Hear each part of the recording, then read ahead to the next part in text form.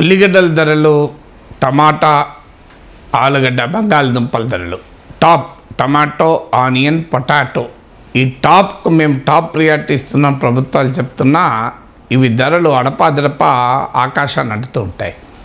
So ఇప్పుడు రాబోయే సీజన్లో కూడా ఉల్లిగడ్డల ధరలు భారీగా పెరగబోతున్నాయి అంటున్నారు.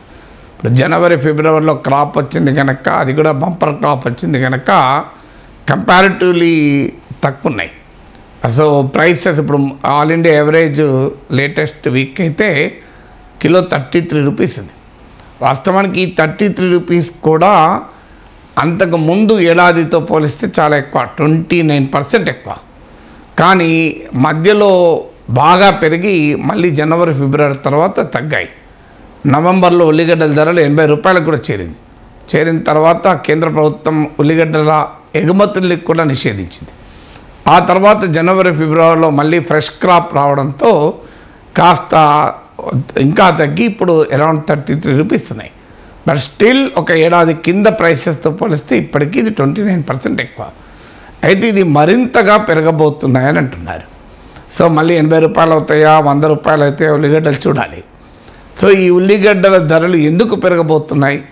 మనకు అందరికీ తెలుసు ఉల్లిగడ్డల ధరలు ప్రభుత్వాలకు కూడా మార్చేంత ఘాటుగా ఉంటాయి.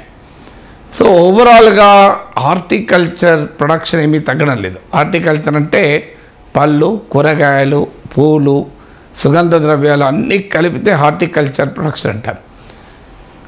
ఈవెన్ టమాటో ఉత్పత్తి కూడా తగ్గడం లేదు. పొటాటో ఉత్పత్తి బంగాళదుంపల ఉత్పత్తి కాస్త ఓన్లీ టూ పర్సెంట్ తగ్గుతుంది.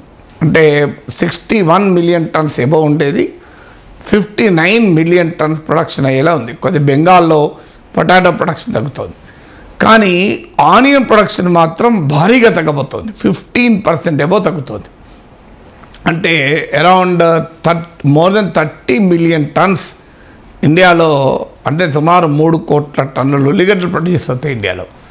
అలాంటిది ఇప్పుడు టూ అండ్ హాఫ్ క్రోర్ మీ టన్నులకు పరిమితం కాబోతుంది. అంటే నియర్లీ ఫైవ్ మిలియన్ టన్స్ యాభై లక్షల టన్నులు ఆనియన్ ప్రొడక్షన్ పడిపోతుంది అంటే నియర్లీ పదిహేను శాతం తగ్గబోతుంది. దీనికి కారణం ఏంటంటే ఉల్లిగడ్డలు బాగా ఉత్పత్తి చేసే రాష్ట్రాల్లో మహారాష్ట్ర టాప్. మన నాగ్పూర్ నుంచి ఉల్లిగడ్డ వస్తాయి మహారాష్ట్రలో భారీగా తగ్గబోతుంది. ఒక ముప్పై నాలుగు లక్షల టన్నులు ఒక్క మహారాష్ట్రలో తగ్గబోతుంది. Three point four million out five million tons మహారాష్ట్రతో పాటు కర్ణాటక ఆంధ్రప్రదేశ్ రాజస్థాన్లో కూడా ఈసారి ఆనియన్ ప్రొడక్షన్ తగ్గబోతోంది అని.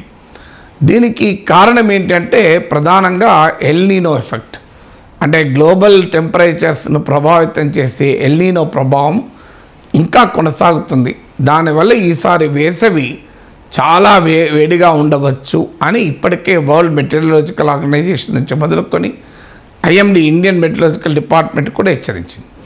అంటే ప్రొలాంగ్ డ్రై స్పెల్ రావచ్చు. వాటర్ క్రైసిస్ పెరుగుతోంది ఇప్పుడు బెంగళూరు. లాంటి నగరాల్లో ఆల్రెడీ తీవ్రమైన నీటి కొరత ఏర్పడింది.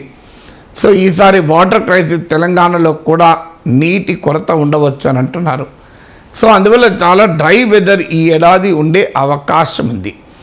అంటే వర్షాలు సరిగా పడకపోవడము ఎరాటిక్ రెయిన్ఫాల్ స్కాంటీ రెయిన్ఫాల్ వర్షాభావ పరిస్థితులు వీటి వల్ల ఉల్లిగడ్డల సాగు విస్తీర్ణము తగ్గబోతోంది ఉల్లిగడ్డల ఉత్పత్తి కూడా తగ్గబోతుంది అని. So demand supply mismatch already ఇప్పటికే ఉన్నది మన దేశంలో. ఎందుకంటే ఈ ఆనియన్స్ పొటాటోస్ టమాటోస్ హార్టికల్చర్ ప్రొడక్ట్స్లో ఉన్న ఒక ఛాలెంజ్ ఏంటంటే ఇవి షార్ట్ షెల్ఫ్ లైఫ్ పీరియడ్ ఉన్నాయి. అంటే ఎక్కువ రోజులు ఉండవు. కొంచెం తొందరగా చెడిపోయే ప్రమా అవకాశం ఉంటుంది. అందువల్ల ఈ షార్ట్ సెల్ఫ్ లైఫ్ ఉన్న ఆర్ట్ వెజిటబుల్ ప్రొడక్ట్స్ వీటిని ఫ్రూట్స్ కానీ వెజిటబుల్స్ కానీ ఫ్లవర్స్ కానీ వీటి demand supply mismatch already ఛాలెంజింగ్గా ఉంటుంది. ఇప్పుడు ప్రప ఈ వెదర్ ప్యాటర్న్స్ క్లైమేట్ చేంజ్ వల్ల ఇంకా ఎక్కువ సమస్యగా మారబోతోంది.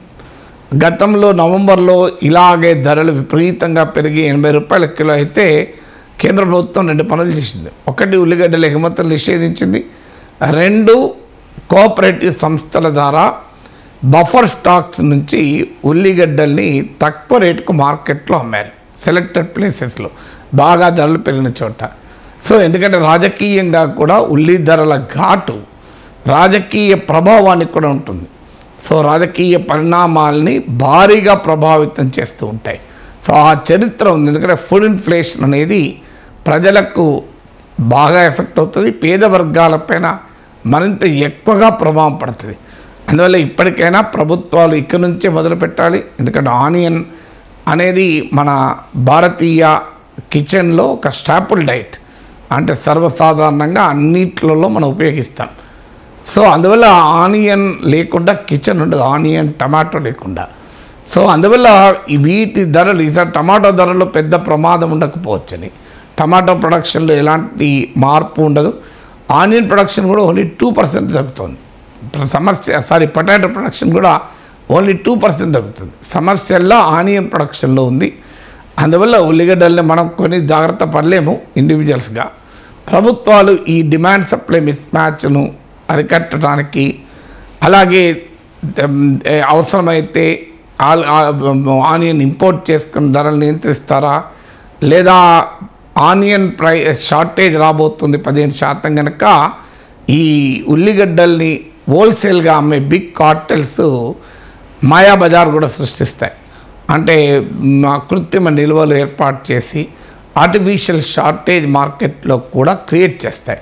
దానిపైన కూడా ప్రభుత్వం గట్టిగా ఉండి ఆనియన్ ప్రైసెస్ను రెగ్యులేట్ చేయాలి.